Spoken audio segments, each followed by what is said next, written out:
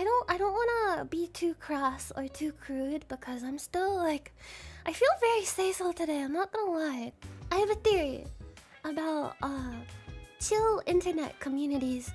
I think like oddly people who are just like um forming communities around like um lewd stuff lewd lewd communities tend to be so chill. You know what i mean?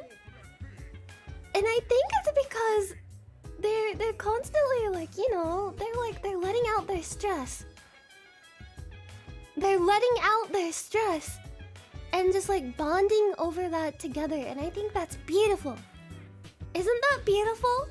I i have i have advice. If you are mad if you are mad on the internet or in real life what have you and you're, you're just like you want to be mad on the internet and say a bunch of mean things just go jack off i'm telling you right now if you are mad before you go post mean things on the internet just go jack off It'll it'll help you, I promise.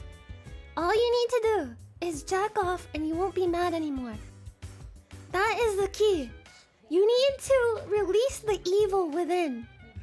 It gets it gets stuck in there, okay? It gets stuck in there. You gotta let it out. You, you gotta just like let it all out, and then afterwards you will feel better. You will feel better. I promise. It is okay to it is okay to do this. It is a natural human thing.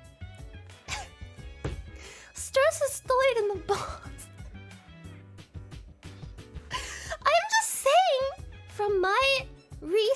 And experience, that like communities that are just like talking about that kind of stuff a lot, like they tend to be like weirdly chill and like kind of comfy. And I think the, the, the key to all of this is that they are constantly in a state of Kenja Taimu. And do you know what Kenja Taimu is? It is the post nut clarity.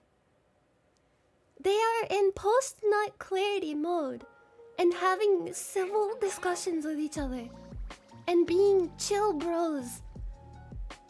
You need to leverage the Kenja Taimu and experience tranquility. Experience inner peace and inner calm. Inner calm.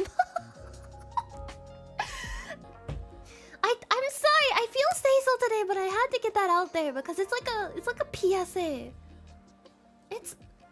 It's okay. Like I think more people should know about that, honestly. あり